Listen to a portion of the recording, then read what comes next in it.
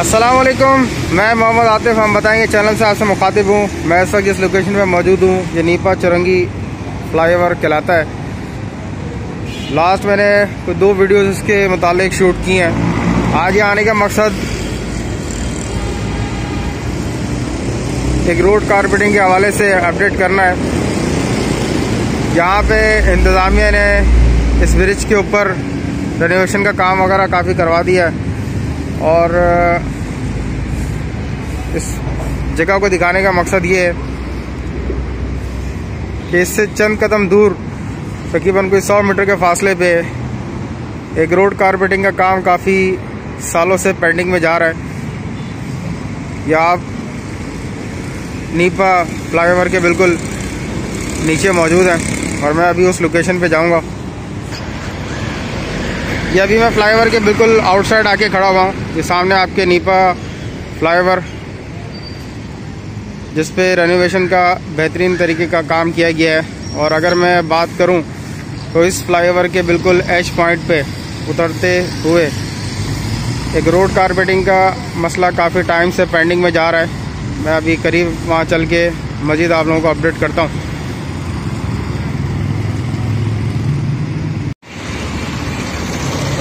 इस फ्लाईओवर के बिल्कुल मैं एच पॉइंट की अगर बात करूँ तो लास्ट टाइम यहाँ पे पानी की नकासी की वजह से ये पूरा रोड डैमेज हो गया था। पानी की लाइन को अलहमदिल्ला रिपेयर कर दिया गया। लेकिन रोड कारपेटिंग का काम अभी तक यहाँ पर पेंडिंग में है।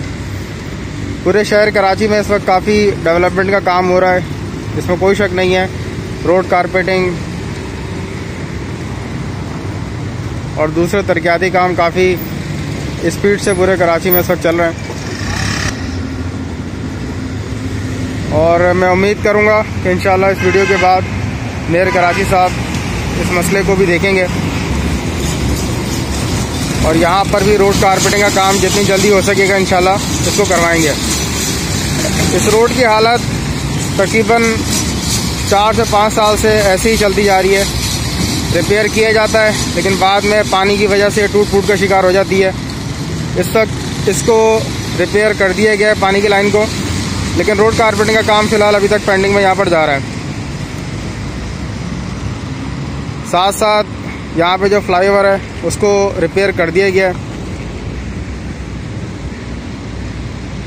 और इस फ्लाईओवर से चंद कदम के फासले पे एक ये पॉइंट है, जिसकी रिपेयरिंग रिक्वायर्ड है। कि सामने रास्ता शराब गोड की तरफ़ को जाता है। और मैं इस वक्त मेन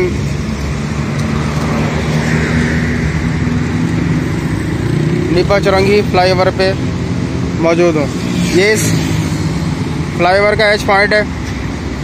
आपके सामने यहाँ की सारी प्रोग्रेस और मैं यहाँ की इंतज़ामिया से रिक्वेस्ट करूँगा कि मेहरबानी करके इस रोड को लाजमी देखें और इसको भी रिपेयर करवाएँ।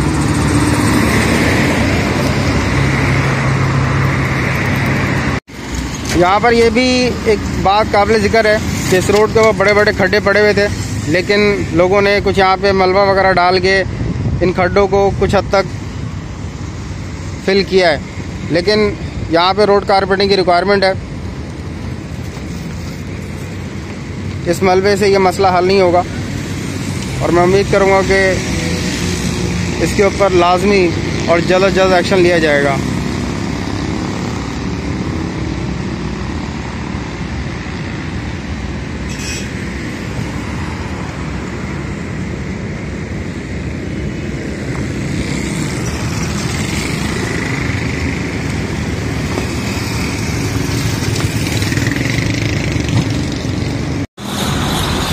चार से पाँच साल हो गए इस रोड की हालत को, जहाँ पे इस दरमियान में कितने M P M L A town नाजमीन chairman deputy chairman वगैरह आए, लेकिन किसी ने भी इस रोड की हालत को नहीं देखा।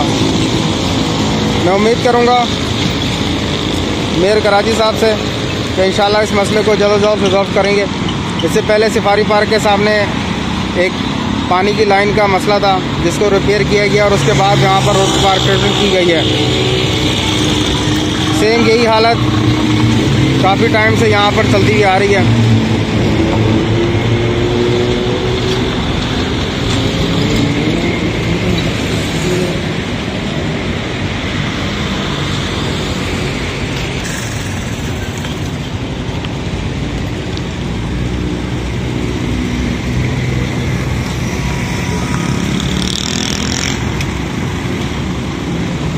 बीच में रोड के कवर भी गायब हैं, जो कि किसी भी हादसे का सबब बन सकते हैं।